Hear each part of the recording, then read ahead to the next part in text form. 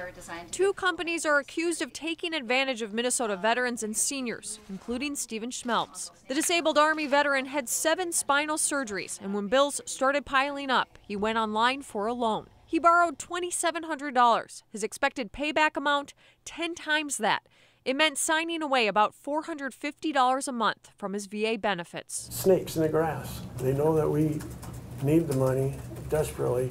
They know we have a fixed income, and they know that that's going to be a direct payment every month. Cecilia Gleb turned to them when times were tough. You need it, and no one else will help you, so you go where you can get help. Attorney General Lori Swanson says those loans required them to sign over significant portions of their monthly pension payments for up to 10 years in exchange for relatively small loans. Commonly, Swanson says the annual percentage rate was 200%. Basically, have websites on the internet and rely on other websites of lead generators to basically say, you know, need financial help, need cash. Well, we can get you cash. Swanson filed a lawsuit Wednesday against Future Income Payments of Delaware and FIP of Nevada. The lawsuit alleges that the companies violated state lending laws by issuing loans to Minnesotans without being licensed as a lender. They call them purchase agreements with the consumers, but they're just thinly disguised loans. They're saying they're not selling in Minnesota.